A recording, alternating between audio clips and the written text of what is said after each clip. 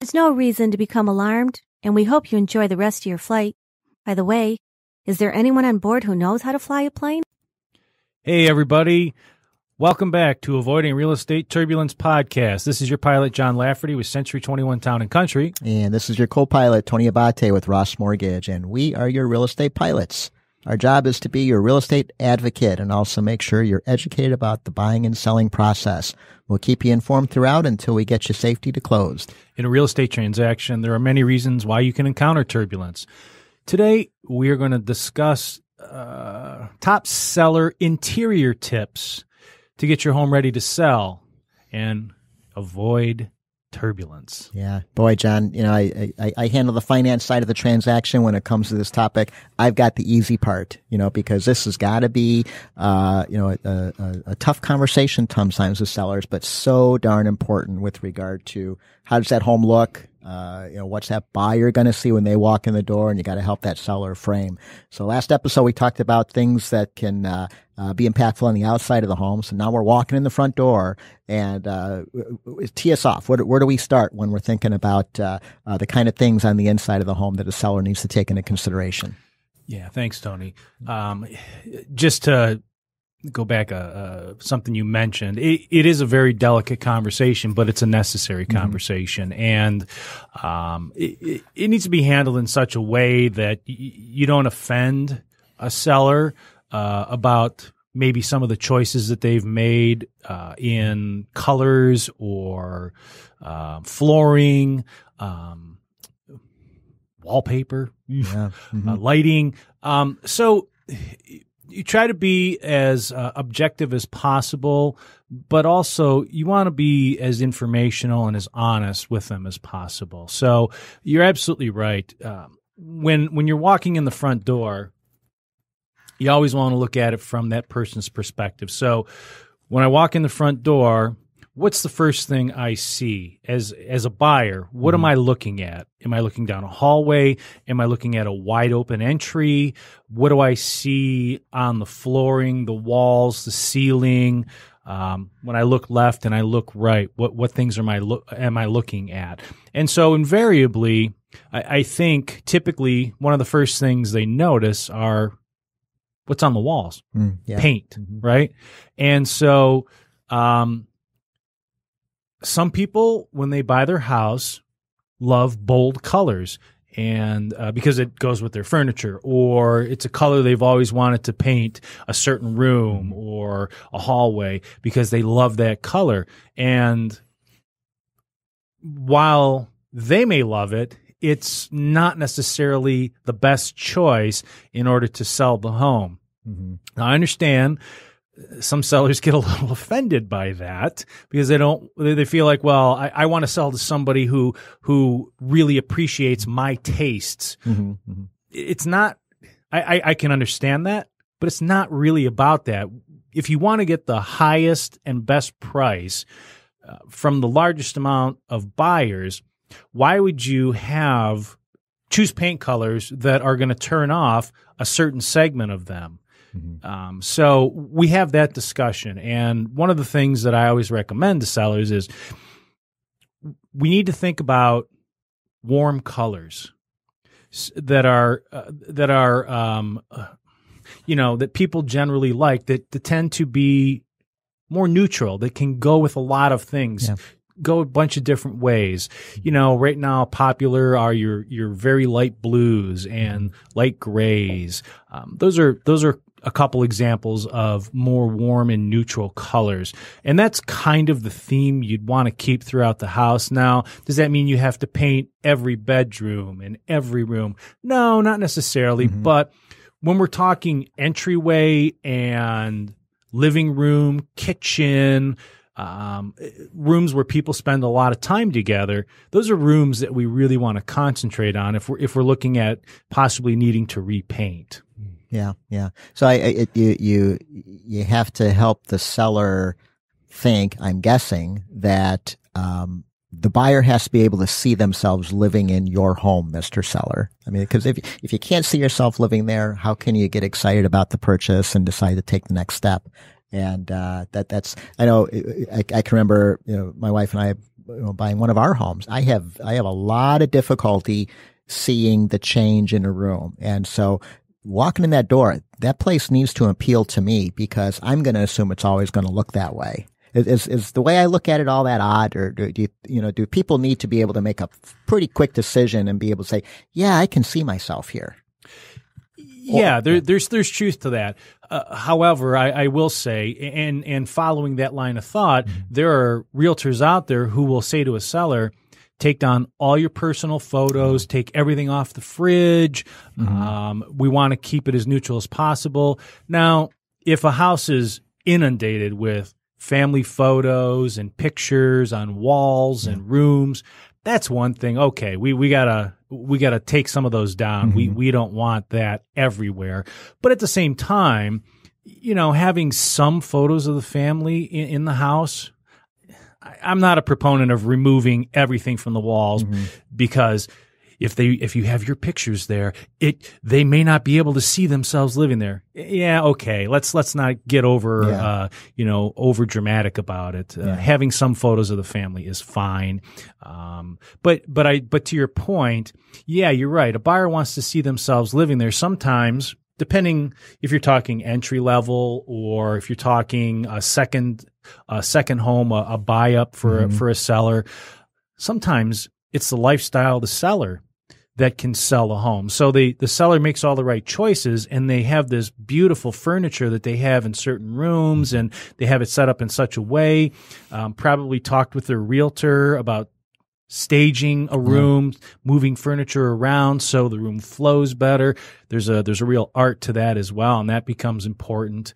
Um, sometimes that helps sell a home. The yeah. lifestyle of the seller that they're that they're presenting to the buyer, um, but it all has to make sense. You you know having uh, beautiful leather furniture in a room and then um, orange walls uh, with carpet yeah. doesn't make sense. So it's, it's all yeah, it's all it all has to make sense. So you're absolutely right. So a buyer needs to be able to see themselves in the house. So you're selling that, mm-hmm. and that's why some of the things that we're going to cover here, I think, uh, play an important role in that. And the other thing it does too is it removes barriers that pop up in a seller yeah. in a buyer's mind whether they're aware of them or not. Mm-hmm. Sometimes it's subconscious things that they see and don't really pay attention to, but in their mind, it's creating no, no, this yeah. isn't the right house. No, it's mm-hmm. not the right house. Yeah, yeah. Well, I think that really resonates. I can remember the last time I walked into a new construction home that was for sale. Nobody's ever lived there, and uh, it was very, very appealing. And what was in it? It, it? There were things that the builder put in there that helped a potential buyer see themselves in that home. So they spent money on things in that new construction home that they were never going to sell to somebody. So there was tasteful furniture. There was there was uh, there there was uh, tasteful things hanging from the wall, and and it, it it's impactful, isn't it? I mean, if I if I go the reverse, if a if a builder were to try to sell a home and every room was empty, yeah. that's that's that's a little that's a tough sell, isn't it, Jon? it, it is a yeah. tough sell, and and so that's a conversation that uh, that I also have with a seller if they're going to be leaving, and mm-hmm. so the house is going to be vacant at some point if it makes sense, we try to do pictures ahead of time mm-hmm. to get uh, to capture the furniture in certain rooms. Um, sometimes you don't have that luxury, and that's when you have the conversation about staging a home, actually having renting furniture to be placed in homes. Uh, there's a reason that uh, models in new construction developments help sell those homes. Yeah. There's a reason that everything has uh, furniture in it, every room, uh, a fridge is there, mm-hmm. even the basement. They finish the basements to look phenomenal, so that you as a buyer maybe want to finish your basement for the additional yeah. forty thousand that they're going to charge you. right. Yeah. Yeah. Yeah.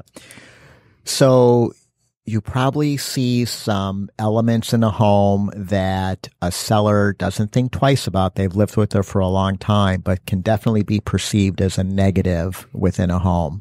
Um, tell me about some of those kind of things and, and how you have that conversation with sellers. Sure. One of the things that we come across in, in, in older homes, um, in, in certain communities popcorn ceilings. Popcorn ceilings, yeah. Uh, or fondly known as acoustic ceilings, cottage cheese, um, or fondly known as lumpy. Lumpy.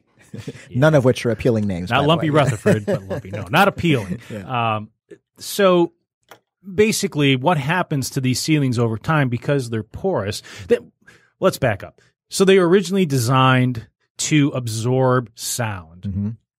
And there was a reason that people put them on because uh, hallways, if you had wood floors in the home.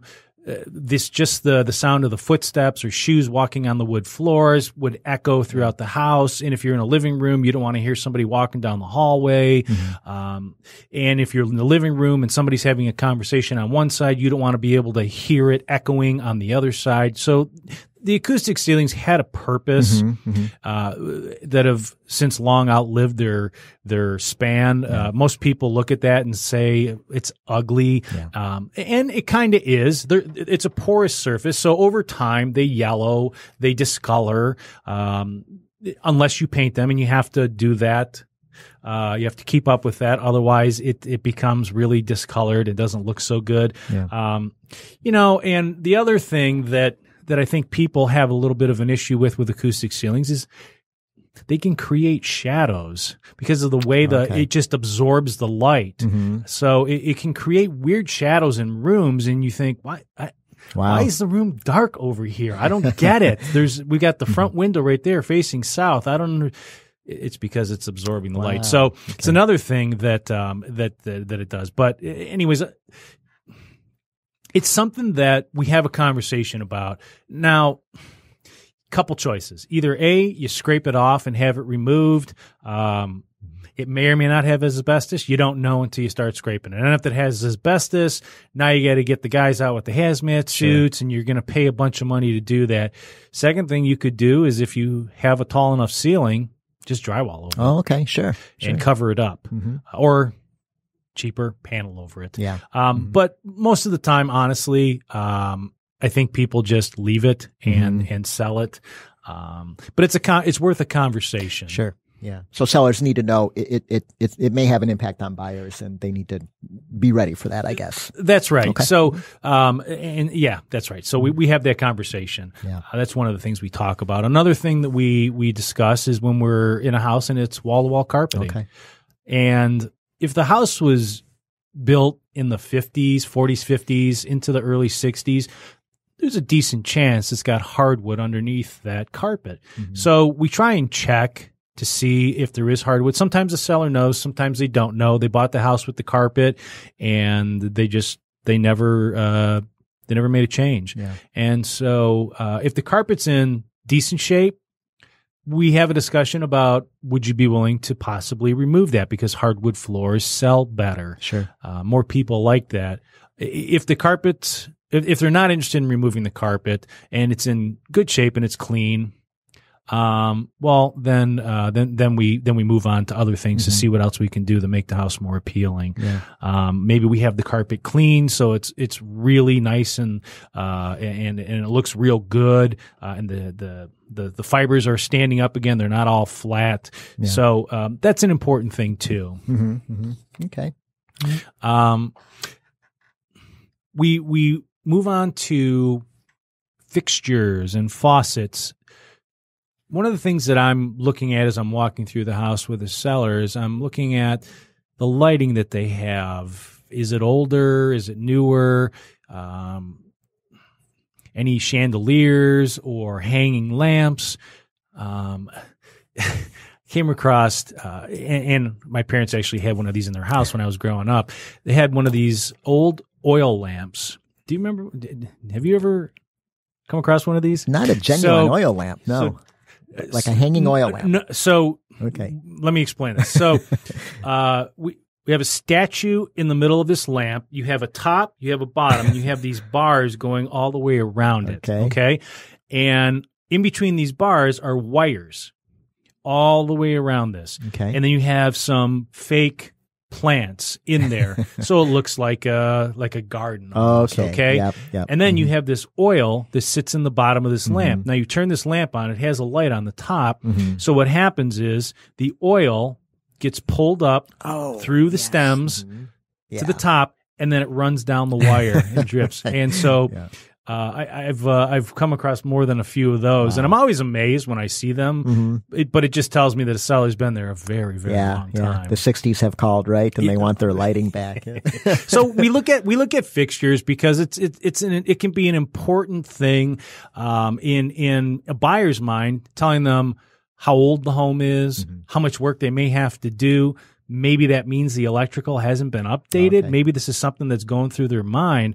Wow, if that's the lighting. Um, uh, what else uh, didn't update? Well, maybe we should look and see if uh, uh, you know the there's a GFI in the kitchen. Mm-hmm. So it, it triggers things in their mind, and especially a good realtor who's a buyer's agent, it'll trigger stuff in their mind and say, okay, got to pay more attention to some of these other things to see are there two prong outlets all over the main rooms. Okay, that means Yeah. none of them are grounded, most likely. Mm-hmm. That's going to be an expense for my buyer. So it triggers those things. And so uh, you want to create a little bit of an experience, right? And so um, the the fixtures have something to do with that i- i- in bathrooms as well, Mm-hmm. uh, and, and faucets. If the faucets are all beat up, you might want to think about changing them, especially in the bathrooms and the kitchen. Yeah.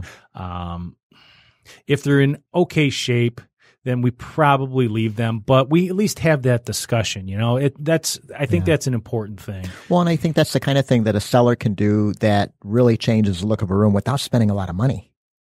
So it can be well worthwhile to at least consider that as a seller, right? Yeah, absolutely. Um, it doesn't have to be expensive. You don't have to spend a hundred dollars on a on a light, a a new light fixture, um, yeah, or to go into a bathroom or to go into a room. Um, the sconce lights are fine and they're inexpensive and they look modern. Yeah. So those are pretty simple fixes. Yeah, yeah. Jon, do you ever work with the seller and you walk in the home and the home itself is fine, but it's it's just a I mean it is just a mess. Do you run into that from time to time?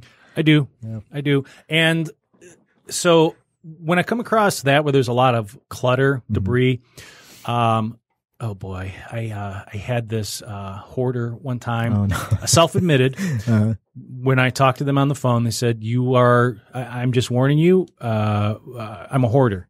And so I don't want you to be shocked when I show up. I said, look, you know, I've been in houses where things have been pretty bad. Mm-hmm. And so I said, thanks for letting me know, but uh, I'll be fine. And, uh, and I showed up and they were not lying. oh wow. Mhm. It was a two story home, a colonial, and every room, including the basement in that house, had stuff piled from floor to probably, oh, I'd say four feet, oh no. five feet tall with pathways. So you, so they could access everyone. So that was the kitchen, that was the garage, Mm-hmm. basement, master bedroom, other bedrooms. Uh, it was, I've never seen anything like it. Wow, Wow, wow. So we have the conversation, and of course, they say, I, I know I got a lot of stuff, and we're gonna we're gonna declutter, we're gonna throw stuff out, we're gonna get Mhm. rid of stuff. And I say, okay, that's great. Um, those people understand that, generally speaking. Sometimes a seller doesn't realize how much stuff they have, Yeah. and so the always the, sort of the fallback is, well, what I'm going to do is I'm just going to move it down in the basement. We'll get it out of here. Depending on the amount of stuff that they have, clutter and debris and everything else that they have, eh, maybe the basement's okay if Mhm. it's not going to fill up the basement and and really make the basement feel crowded. Colonials typically have smaller basements, Sure. right? Mhm. And Yep. The new ones have pretty much full basements, but the older colonials built in the 60s and 70s and your Warrens and Sterling Heights, they don't have full basements. They have partial basements. And so you start moving stuff into those basements pretty soon, y- you have no room to walk around. A buyer walks into that basement and says, Holy crap, this is a really tiny basement. Yeah, this isn't yeah, going to yeah. work for me. Others will say, well, we'll just move it into the garage. To which I say, well, if I got a choice between the basement or the garage, I'll take the garage, Sure. moving stuff in there. But what I'd really rather have you do is rent a storage Yeah, unit and yeah. move everything off site. Yeah. That's that's the best thing to do uh, when you're thinning out closets from clothes. So we're going to summer. You don't need those winter clothes anymore. Mm-hmm. Pack them away, get them out of the house. Winter boots, same thing. Pack them away, get them out of the house. Things that you're not going to use till probably fall, pack them up, Yeah. get them out of the house. Clean off those countertops. Um, keep them clear Yeah. as much as possible. So yeah, we have a full conversation and we go room to room and we really, we really discuss ways to make rooms look bigger and, and more presentable and closets bigger. That's Yeah. all important because if a, if a buyer looks in a closet and it's full from Mhm. wall to wall of stuff, well, what's there? Well, I don't know if we, we may, this may actually not be enough room for us for our stuff uh, we may this this house just may not work for us or you have a huge oversized bed in a 13 by 11 room Yeah. it's going to make that you're not going to have room for a dresser on the other side most likely. So it makes that room feel really tight. So um positioning things staging things. So we we have that discussion too. But but yeah that's that's a big one and that's something that we really jump after Yeah, yeah, it's worthwhile for a seller. I mean, when you're looking at the idea, you you want to maximize your dollar. You want to get as much as you can for the house. Room size is critical, and perception is you know is perception's reality, isn't it? In a lot of cases, and so if that room looks smaller just because of what's in it or, or, or disorganization, whatever, it could cost that seller money. Absolutely. Yeah. Yeah. One of the, uh, one, one of the other things too that we, that we, boy, it's a tough subject to broach sometimes.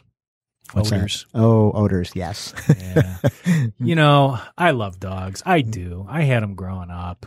Uh, not so fond of cats, Mhm. but you know, I, I still pet them and everything, but, uh, I'm just not a cat person yeah, nothing against cats for for those of you that own cats but um so i i understand why people have animals i, I get it but animals smell they smell. Yeah, they Mhm. they do and so when they lay on the carpet their natural oils their natural odor it just it attaches itself over time and if you're the homeowner living there Mhm.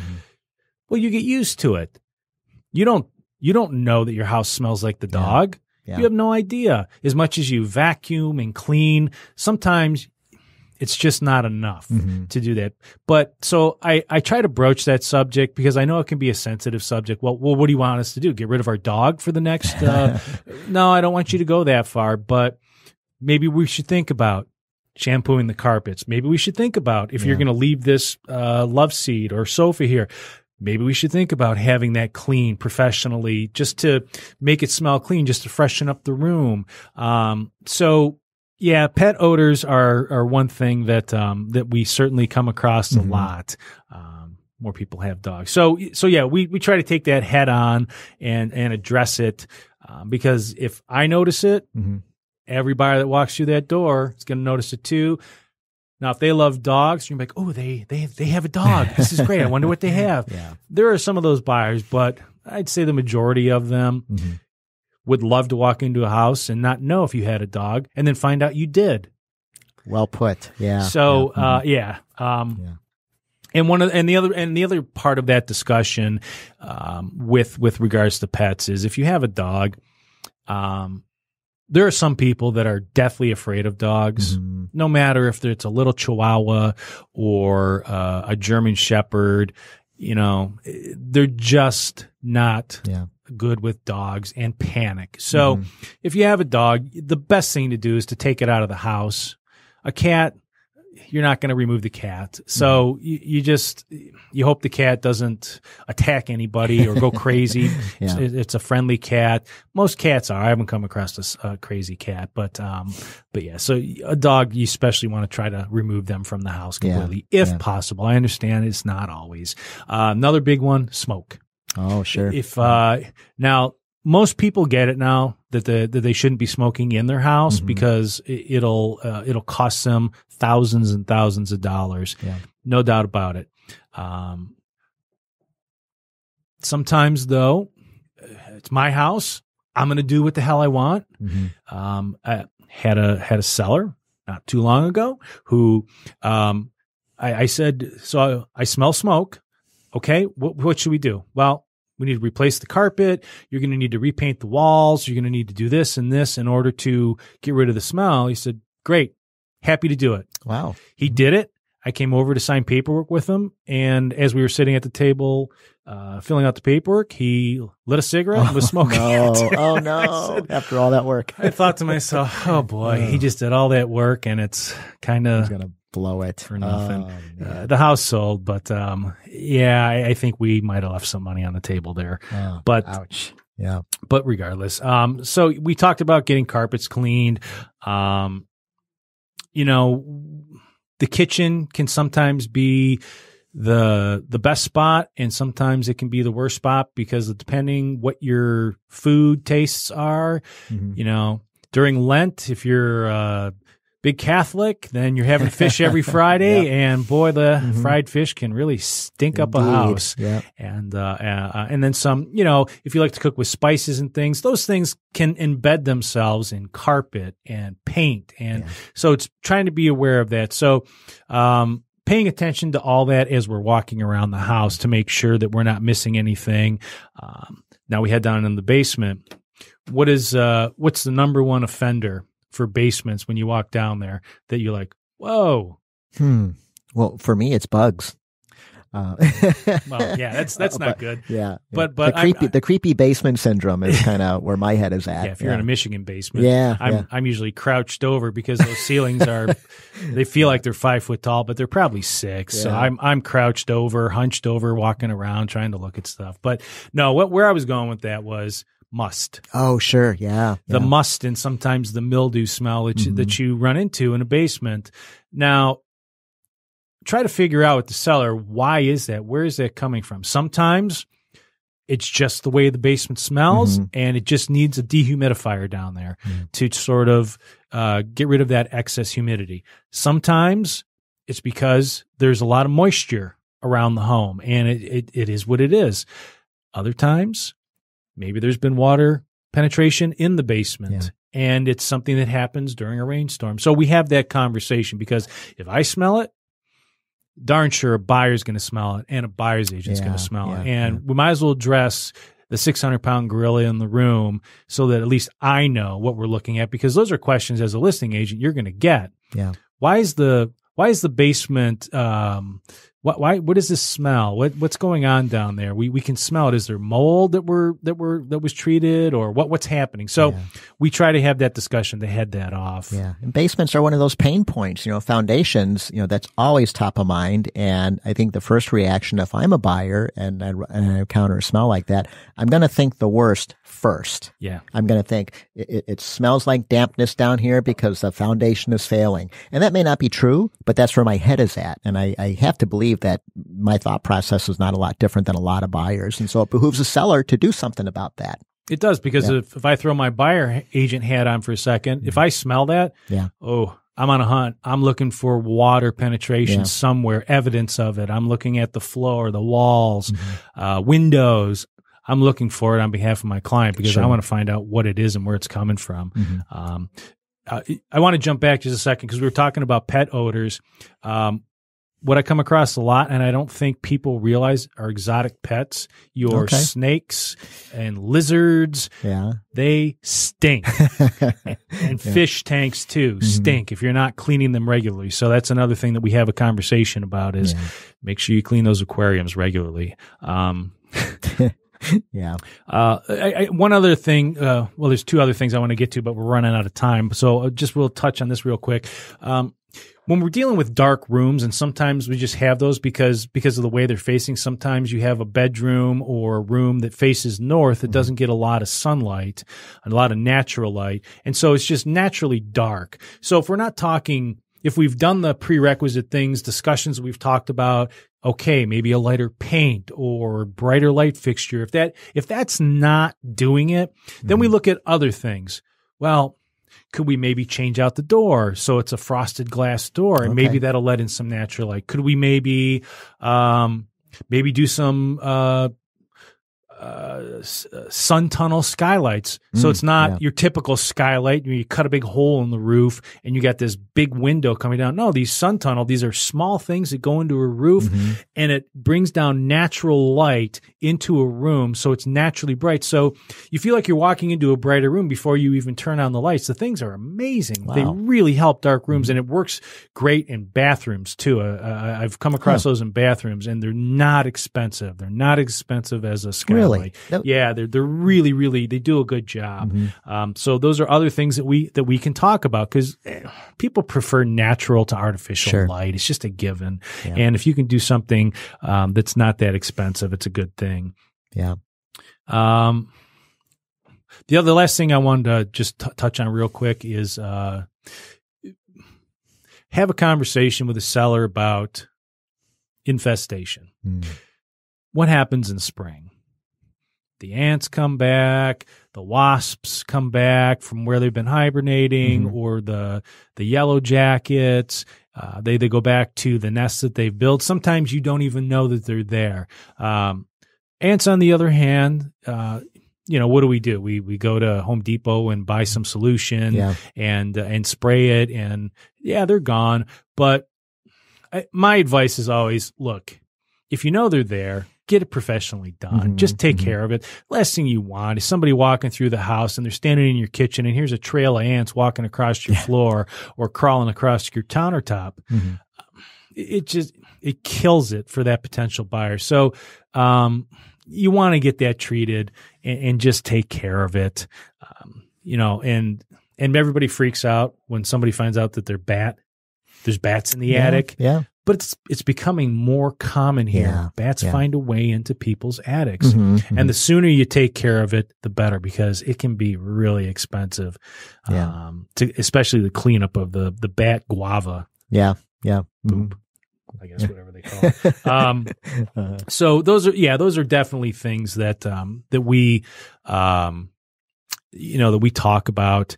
And, uh, I think it's, uh, those are important things. Yeah, yeah. Well, just like anything that that you're trying to market and sell, uh, be a car, be it a piece of art or a home, you, you gotta you gotta position it in a way that's going to appeal to the broadest section of the population, so that you get the most at bats with buyers that are willing to consider the home.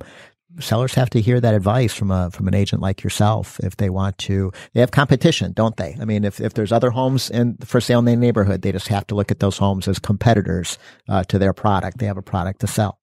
Hundred percent. And also, it, it, just to back up, if if we're if we're we were talking uh, in our last podcast about exterior influences, and we were talking about neighbors.